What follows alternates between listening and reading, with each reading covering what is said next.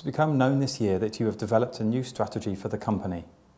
Why have you decided to restructure the strategy at this moment in time? How have changes in the current market influenced this? In 2017, we turned 25. Over these years, the company has come a long way.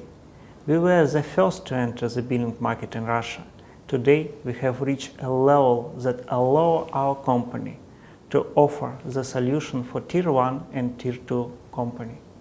We have gained sufficient experience and expertise in the BSS market with over 120 projects and earned the reputation of being a reliable partner given we have worked with Megafon, Turkcell and many others.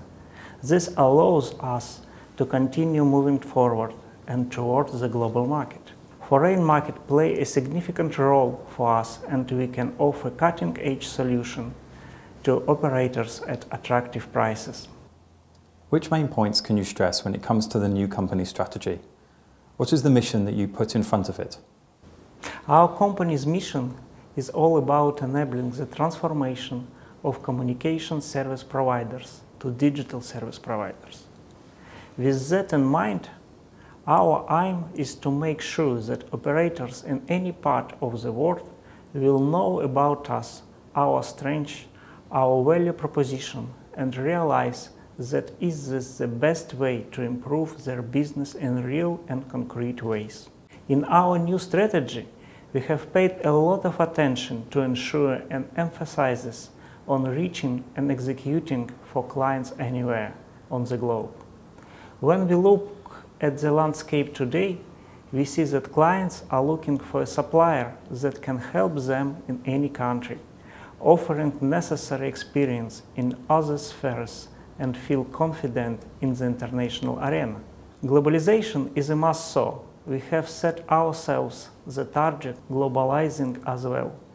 With our track record of reliability, discipline and our value for money, we expect that Tier 1 and Tier 2 operators in any geography will choose us as a partner that they can trust with delivering their most critical projects. Have you thought through the strategies of dealing with competitors on the international market? At this particular moment, we see many challenges across markets and execution. BSS swap projects are growing more difficult. They are getting longer and risky for operators. Looking at this, we see how important it is for operators to have a service provider that is able to ensure speed of delivery and the ability to work in the agile way. Over the past years, we have taken a huge step forward in this direction. We have experience of working with large projects in Russia, the largest country by land mass in the world, which we are ready to keep expanding and apply abroad.